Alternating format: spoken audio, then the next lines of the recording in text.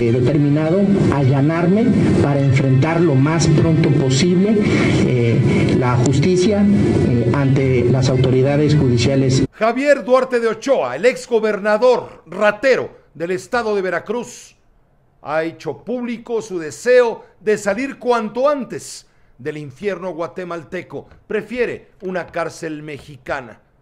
Hoy fue informado de la persecución en su contra por parte del gobierno de Veracruz.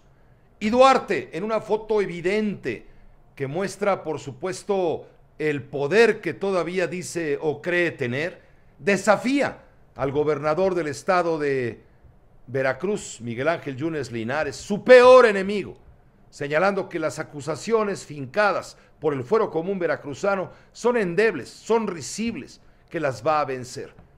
Javier Duarte está planteando venir a México a qué? ¿A soltar la sopa?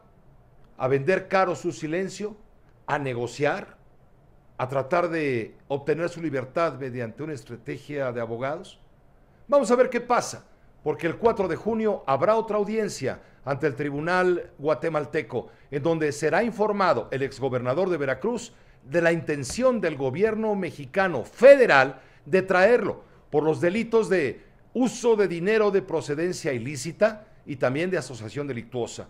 El primer delito no es grave, el segundo es tremendamente grave. La Procuraduría General de la República solicitará al juez de la causa mantenerlo en prisión preventiva de acuerdo con el nuevo sistema penal acusatorio.